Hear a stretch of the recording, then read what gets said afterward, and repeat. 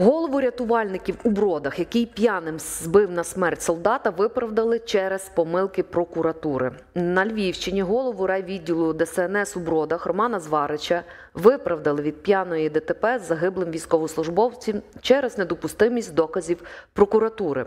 Інцидент трапився у січні 2018 року. Тоді змі писали, що невідома особа на пішохідному переході збила солдата у бродах, залишила авто Шкода Октавія і втекла з місця ДТП.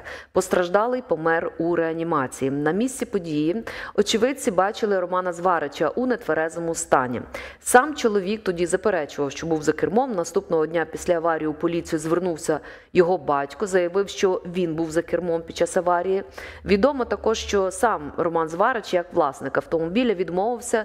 е, Співпрацювати зі слідством і надавати будь-які докази, покази, але наголосив, що його родина спілкувалася із родиною постраждалого, та той, хто спричинив аварію, готовий повністю відшкодувати збитки. Однак, все ж таки, слідчі встановили особу, яка скоїла ДТП. Ним виявився сам Роман Зварич, і йому висунули підозру.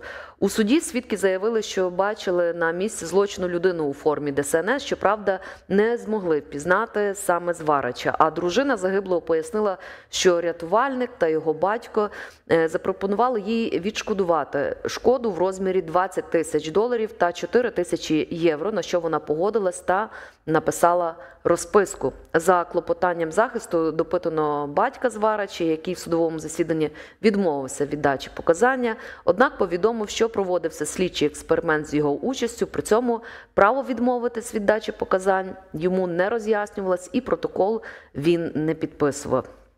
І в результаті е, суд погоджував, погодився із доводами сторони захисту про те, що відібрання у зваричів е, букального епітелію відбулося без належного процесуального оформлення, і суд вирішив визнати, визнати зварича невинуватим у пред'явленому обвинуваченні за частиною 2 статті 286 та виправдати у зв'язку із недоведеністю вчинення ним інкримінованого кримінального правопорушення.